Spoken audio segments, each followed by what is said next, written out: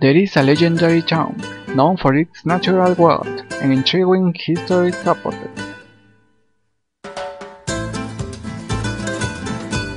It is a town full of harmony and tranquility. A place surrounded by majestic hills, adorned with delicate glutes, a town spoiled by the nobility of its people.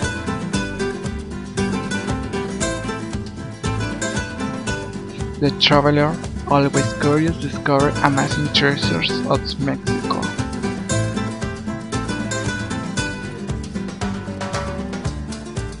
The beautiful birds will guide you in this amazing place.